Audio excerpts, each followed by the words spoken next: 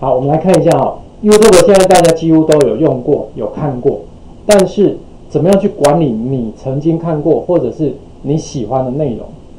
有没有拿？你你会发现说，除了别人在 email 里面传给你的，或者什么赖给你的啊，你去看以外，事实上现在有很多人在经营所谓 YouTube 频道，也就是说他希望把它做的像电视台一样，就是比较有系统的，或者是比较有内容式的。定期或者不定期去发布它新的东西，那么你可以看到哈，我们从这边你进来之后，事实上左手边这里我点一下，有没有发现左手边有那么多？只是大部分都没有人在用而已。我发现了，大部分大家只都只会用关键字嘛。好，呃，如果呢你想要管理一下你自己的频道，我会在这边叫影片管理员。好，你可以看到哈，我这边有一个叫播放清单。有没有？在这有播放清单哈。那我找一个给你看看，就是我的部落格。我的部落格这边其实会有连到我的 YouTube 教学频道，YouTube 教学频道哈。那你点进来之后，其实就会连到那个清单里面去。因为我的影片比较多，所以如果说你直接看一段一段分开的影片，事实上各位应该是不好找。你看我直接看这边的影片。上传的影片这么多，你要找好不好找？因为我都是虽然我有照零一、零二、零三，但是你要找还是不方便找嘛。所以我会把我要的、我自己的，那这里面不一定一定是你自己上传的，也就是说，你可以把比如说教，也许你是研究上或者是娱乐上也可以，你有用到的，我就整理成一个播放清单。那么下次要找是就比较容易。假设你找歌手的。那你也可以把相关歌手就整理成一个播放清单啊，我就不用那么麻烦，每次都重新再找，哦，因为有些可能你要经过几个，那你选好之后，你就可以把它加到新增到你自己的清单里面去，好，新增到你自己的清单里面去。那这个清单并不是说一定要怎么样，一定要公开的哦，你可以公开也是可以不公开。所以如果是我研习的，我基本上就是公开的，有没有？像这些我都公开的。所以我在分享的时候，我就会像这样直接去分享。哎，这几个你看到就是当天的，就那一次的延期的内容，不会找简体了。美工看一段，然后又跳到别段去，好像这样我就把它整理起来。那也有一部分可能是，哎，我自己觉得怎么样？我是跟数学学有关，或者我们要共用的，有没有发现这里有锁头？表示说什么？这是我私人的，哎，我自己整理起来。参考用，并不是要对外公开的。好，这个是您可以参考一下。我们在 YouTube 里面，事实上它有一个叫做播放清单，因为我发现绝大多数人都没有用这样的功能，所以会造成一个情形：你自己就算你有按喜欢，可是以后你要找这个内容方不方便？不方便。你有没有发现以前你有喜欢的内容，可能那个影片就被移除了？大部分这种情形就是那个是有侵权的啦。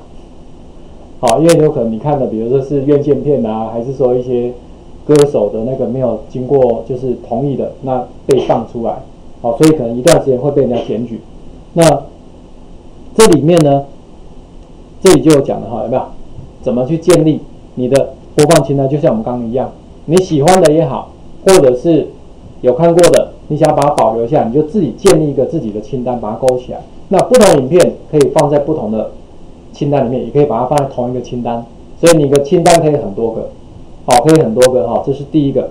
再来，基本上因为各位要自行上传的应该是比较少，对不对？你比较少会把自己的影片放到上面去嘛？好，那所以这个上传限制的话，你可以留意一下。如果以后你想要上传的话，预设如果你没有通过就是所谓的手机认证的话，一段影片是十五分钟，最长。那么，如果你有通过手机认证，因为它会传一个简讯给你，通过的话，它就不限时间，原则上应该是一个小时左右了。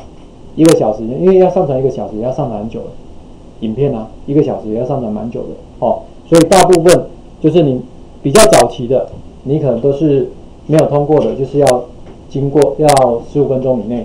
当然，你可以补补正这个程序，那就 OK 好，你就可以不限制，因为它能够找到你，就可以。知道说这个是谁放的，这样了解吧？哈，好，那我们来看一下，事实上，你在 Google、YouTube 里面，YouTube 现在是 Google 的嘛，对不对？你做过的任何的搜寻记录，或者你有按喜欢的影片，它实际上都有记录，都有记录。所以其实如果说假设你上面这些都不做，也没关系，你一样可以从上面这里，这里有没有一个搜寻记录？你一样可以从这边有没有去找到你曾经去找的那些资料，还是可以的。不过通常我还是比较有有系统的整理，我会比较好找。哦，毕竟记录不整理的时候，那个漏漏等很多，对不对？好，这个是顺便跟大家稍微提一下的。好了，啊，至于影片的下载跟转档，可能工具很多，好，工具很多，我有放在我们的相关软体里面，事实上这里就有，这里有有两个，有没有？包括的就是你要影片下载，甚至直接转成什么 MP3 的，这是用软体的方法。那也有云端的。我放在这个火狐，刚刚各位不是有用的吗？对不对？事实上这里也有一个哈，火狐里面我最常用其实是火狐的。比如说我给各位看一下，如果你去 YouTube 找到任一个喜欢的，好，假设这个了哈，找到一个你喜欢的之后呢？在我们的这边，这边我看一下，这里哎没有，不见了。好，在我左手边这里，有没有看到一个这个？你们的版本我都把你加进去。这广告就不用了哈，这不是真正内容，真正内容是这一段，对不对？你可以在这边直接按，直接下载。通常我是比较喜欢这种方法，因为它不只支援 YouTube，还有其他影音网站也都可以。哦，也都可以啊，所以你可以透过这个方式，直接就从这边直接抓下来。那这个呢，我们刚刚那个叫做火狐的，这个叫做附加元件，附加元件跟 Google 那个应用程式一样，你可以从这边给各位安装在里面的就是这个叫 Download helper，download helper，。好，所以其实说真的，火狐上面这些好用的很多。好。那这个是给各位参考一下，万一如果你有需要把 YouTube 影片抓下来，其实你可以尝试看看用这种方法，它只要是能够抓的，它的这个图就会出现，它这个图就会出现。好，这个给大家参考一下。